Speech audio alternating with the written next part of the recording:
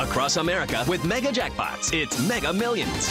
What's up, America? I'm John Crow. It is Friday, February 26th, and tonight's Mega Millions jackpot is an estimated annuitized $30 million. To win that jackpot, you must match these five white balls plus that gold mega ball.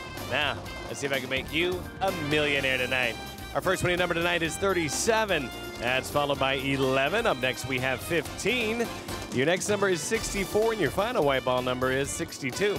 Now for the mega ball number, that is 5. Again, tonight's winning numbers are 37, 11, 15, 64, 62, and the gold mega ball is 5. Now, if no matches all six numbers, Tuesday's jackpot could be $43 million. Good luck, have a great weekend, and play on, America!